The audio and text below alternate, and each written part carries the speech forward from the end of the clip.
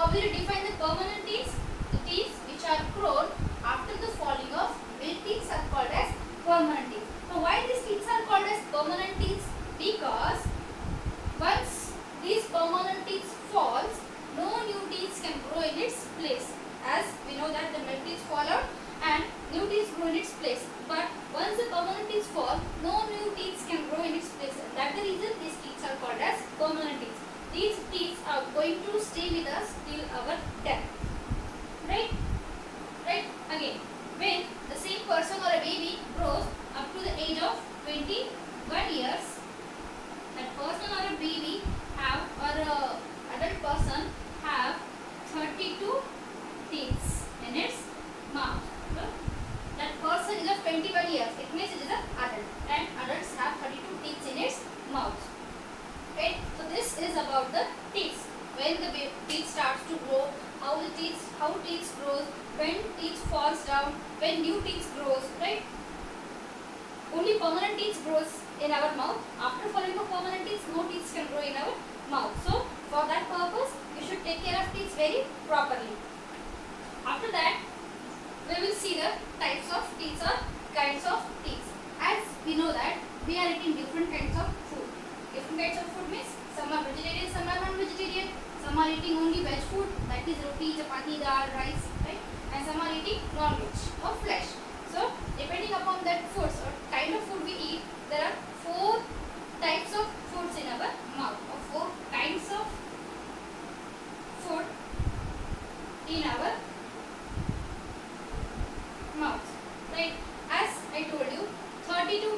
there in an adult person and all the 32 teeth are not the same. They are having different structure and different shape also dependent on their function. Okay, so uh, I have drawn some figures of uh, type of teeth here. Let me show you. So here are some four types of teeth. First type of teeth is a incisor. Incisors. These are present in front part of our mouth. Suppose or imagine you are eating an apple or a roll of chapati. Which teeth you will use to cut an apple or uh, chapati? Of course, front teeth. So these front teeth are called as incisors. There are 8 incisors, 4 are above and 4 are below. These teeth are also called as cutting teeth as these teeth are used for cutting the food. 8 incisors are there as they are uh, used for cutting the food. They are called as cutting teeth. Second type of teeth are the canines. Canines. These are present just next to the incisors from both the sides.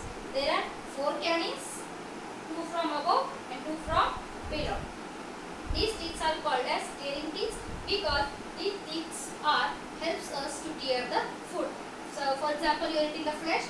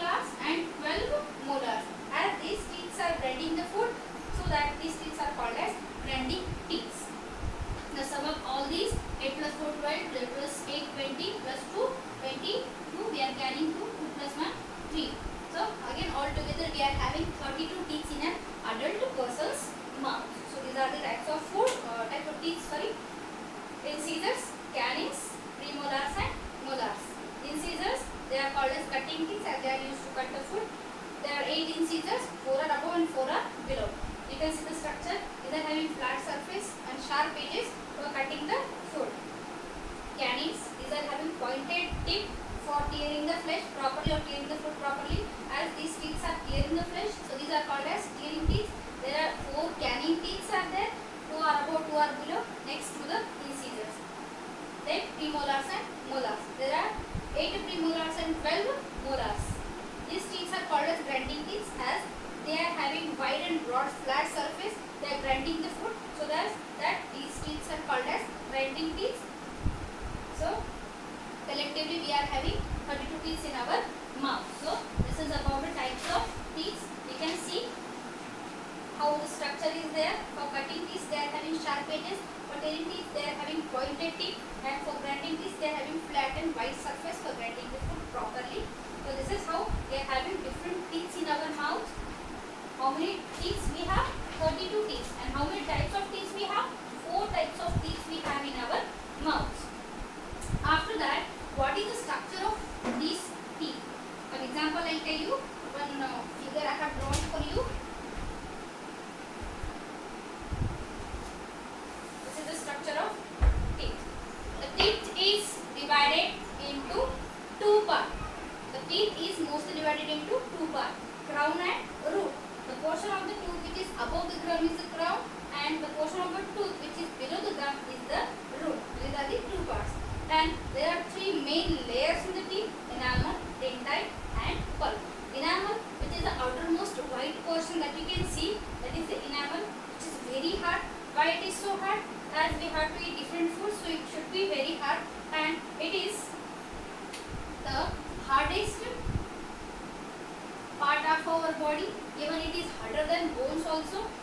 dentine. Dental is the next layer after the enamel and it is not as hard as the enamel. It is little softer than the enamel and the pulp which is innermost part which is having all the blood vessels and nerves. Blood vessels provides the nutrients to the teeth for the growth and pulp is the softest part of this teeth and this is the gum. This is the jawbone in which the teeth are situated. So this is about the structure of teeth. After that we will see cleanliness of our teeth or taking care of our teeth.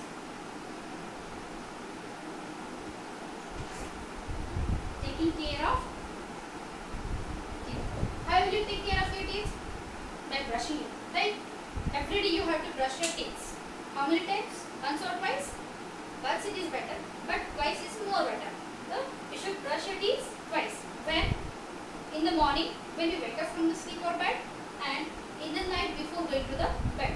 So if you brush your teeth twice every day, you can have a clean and good set of teeth in your mouth. Right? What will happen if you will do not brush your teeth? Okay, that we'll see here. If you will do not brush your teeth, the cavities can occur in your teeth by growing the germs. Why germs grow in the teeth? I'll tell you. We eat the food, After eating the food, we have to brush. Why? Because while brushing, we are removing the food particles which are stuck in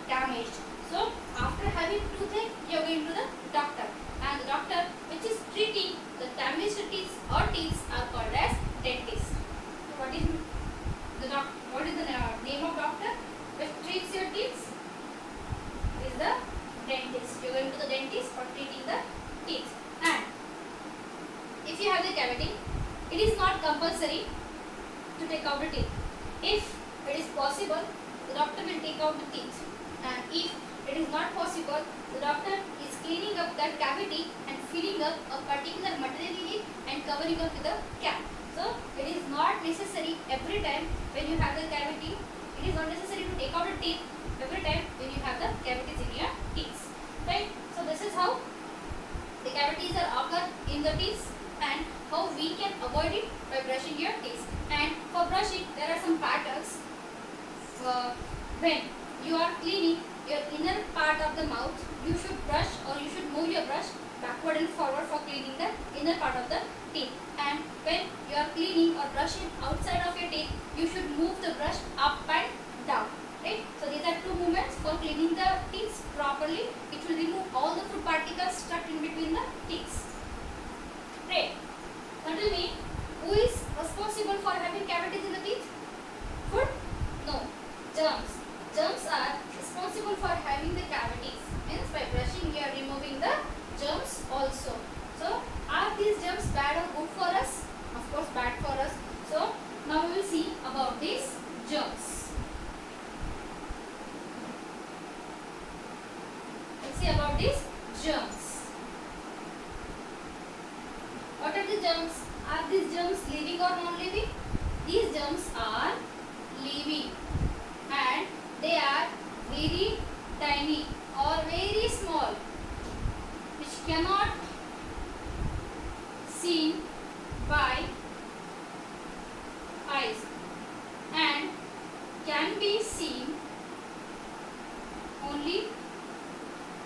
under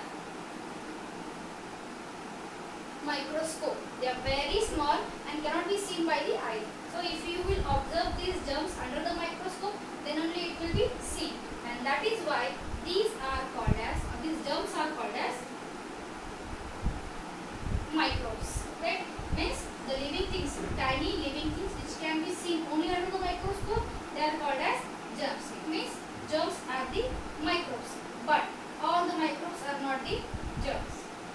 carefully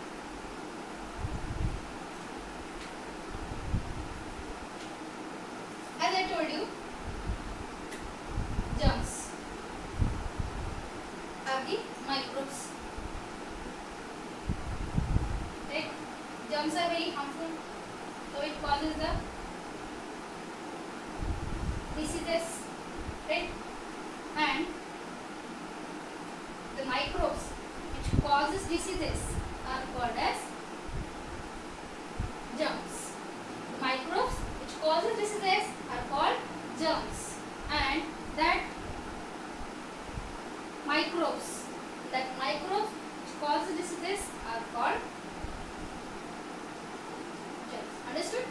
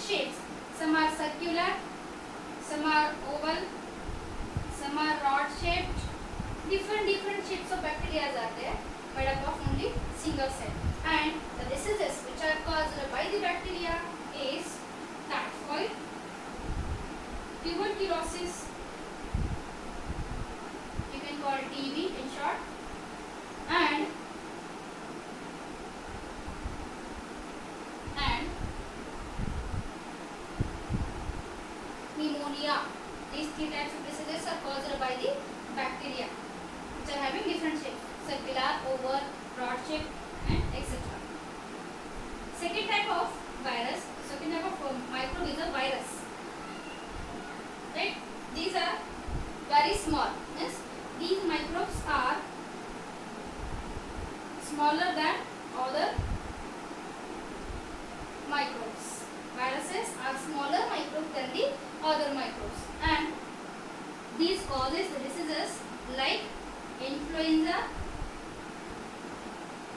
common cold you can call flu polio etc right?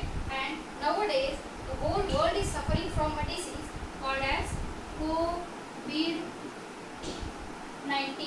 right? And this disease is caused by the microbe. Or type of microbe is a virus. And the name of virus is corona right? Corona is a type of virus. So it is very harmful. Third type of microbe is protozoans.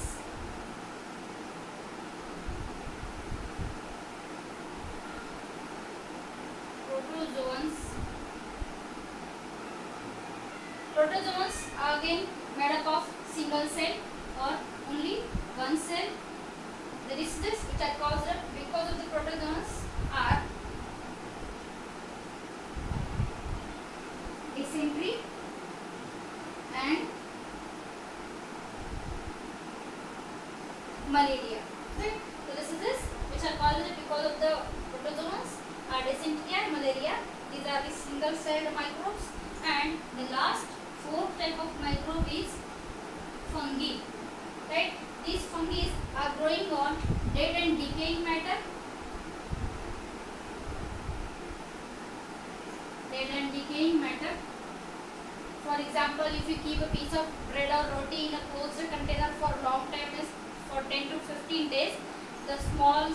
small you can see that grow, growing material is a fungi which is growing on the roti or piece of bed and um, the diseases which are caused by the fungi is the uh, ringworm, ringworm or athlete's foot. Athlete's foot. These are the skin diseases. Means this fungi is growing on the skin and uh, causing this uh, skin infections like ringworm and athlete's foot. So this is how these microbes, these four types of microbes are causing the diseases. So all these are the harmful bacteria or uh, microbes. Sorry. Now we'll see how these microbes are useful for us. Now we'll list some uses of microbes here.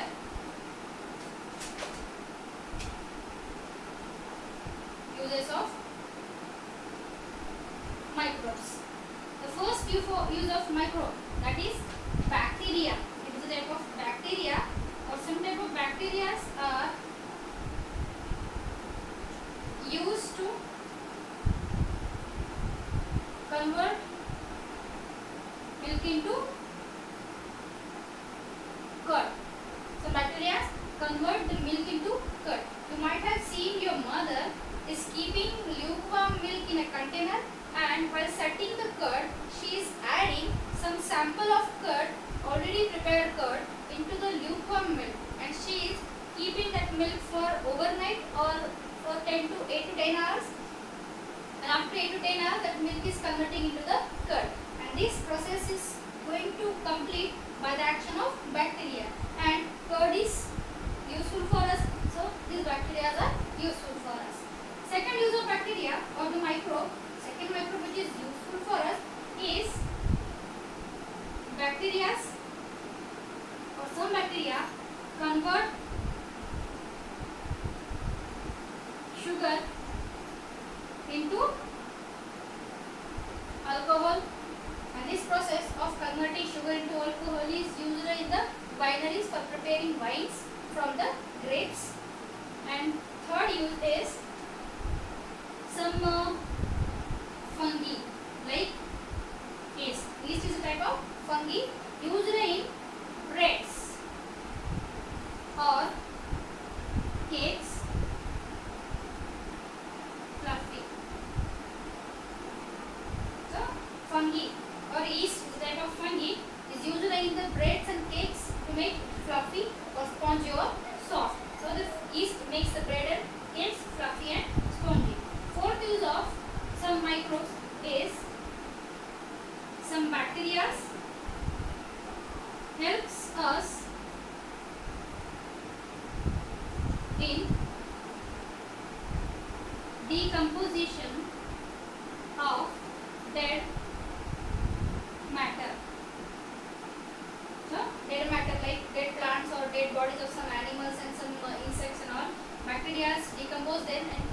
of the